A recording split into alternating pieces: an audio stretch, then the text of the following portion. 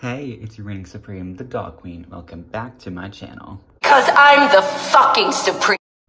So yes, I'm back at my dorm again. Um, so I do have those two because I did see the FNAF movie. It is, I'm filming this the week after it came out, so you're probably not gonna see this until like a month or two. Um, so I have those two now. Um, I do plan on getting all the chicas in this little Funko Snaps form because I, I don't know, I like them. They come with extra faces too. I just think they're cool. Um, and then, you know, Refresh Clawdeen had to come with me because I love her. Maybe I just like the characters with glasses. I don't know. But today we are looking at Scare-adise Island Heath because um, I need next day delivery for a little pencil for my computer so I can do my classes, but then the pencil doesn't work with that computer, so it was all for nothing. Well, I guess not all for nothing because I have Heath now, because um, I had to get that $25 free overnight shipping. Um, and I, I looked at him, he's, uh, he has a good screening, good everything, so I can take him out. He's in the uh, Slender style box that we saw with the, um, day out dolls. Um, like you can see Monster High embedded on that side, then on this side, oh, never mind. I switched it up a bit because on this side there was like different hearts for the main three, but not on this one. Um, and then on the back, Monster High has been swapped uh, from the normal iridescent to like a little sunset pattern and it's so pretty. And then Scare-adise Island, super cool logo and it just has all the sunset colors. If you know me, I love the sunset colors, so it's just so pretty. And then there's Heath's artwork. Um, it's fine. And then I like his little logo. And then on the back, we can see Heath right here.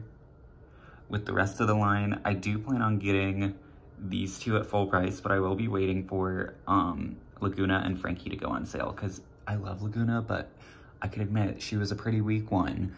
Um, so we have the Boo Crew is ready for a relaxing getaway on Scare-adise Island. Jackie, Laura, Clawdeen, and Frankie have packed all the trip essentials, including SPF 5000, a hair-raising beach read, and totally electrified smoothies. Even Heath Burns is bringing the tropical heat with his blazing hair and fire outfit. This vacation is sure to be filled with surf, sand, and plenty of scary fun ahead. And then it just has the Burns right there for some reason.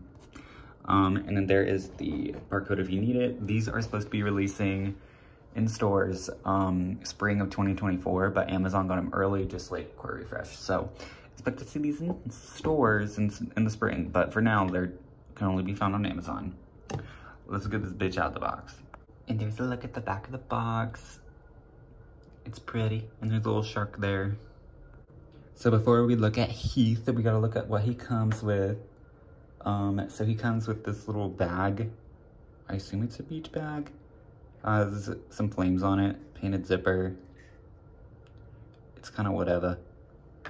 And then we have his little bottle of, um, instead of sunscreen, he uses 30 UV, so I assume that means like he absorbs the sun.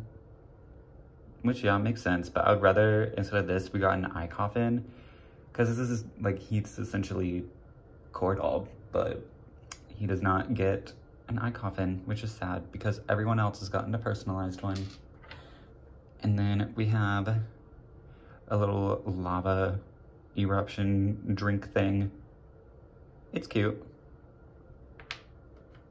And then we have his sunglasses, which is also orange. And then flames on the arms of them yeah, pretty basic stuff. And then when we look at Heath, um, he looks pretty good. You might think that he has a similar sculpt to um, Deuce, but he has a completely new head sculpt. Um, his eyes are very like hexagonal, which people don't like, but it reminds me of Ben 10 Alien Force. If you know, you know. Um, so I personally don't mind it. Actually, like, I kind of like it. Um, yeah, his eyes are orange with a little bit of yellow and you can see little fire drops, I guess, right there for his eye shines. He's like a dark brown or not a dark brown, but like a medium tone brown lip, dark brown eyebrows. His skin is like a light orange, and then his hair is super cool. So it has like this maroon color for like the shaved sides, and it's just this fire mohawk. It's so cool. And then it's like painted a little bit of a darker orange, and then it's like translucent yellowy orange plastic, so it looks really nice. This is definitely the standout is his hair. So yeah, that's super cool. Um, and then his outfit is pretty simple. It is his show outfit, but turned like slightly modified to fit the beach theme. Um, so yeah, we just have this like cottony blue sweatshirt with flames on it, blue trim right there, and a blue hood that does fit over. And then um, we have these shorts, which are made out of a satiny material. Well, on the show, it seems like it would also be made out of this material. Um, there's decorative stitching right there. Uh, and then there's flames also on it. And the reason why it's made out of this material is to mimic like a bathing suit material.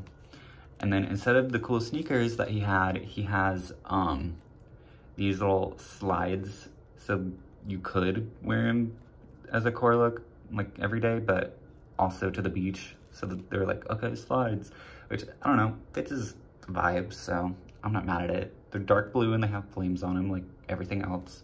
And then the bottom has a skullette pattern. So pretty simple and pretty cool. So I will um, put his hood up and sunglasses on so you can see what that looks like. So similar to Core Lagoona, the hood does fit, but it looks kind of stupid because of the hair. Yeah. So there he is next to Clawdeen, so you can know the height difference. Um, it's the same, he has the same body sculpt as Deuce and Clawd. So unfortunately, we have not seen a new body sculpt for the boys. Hopefully soon.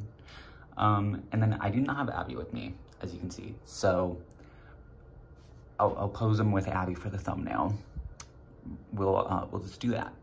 So uh, that's gonna be it. He was $18. I would say that he is worth 15. So $3 markup from his actual worth.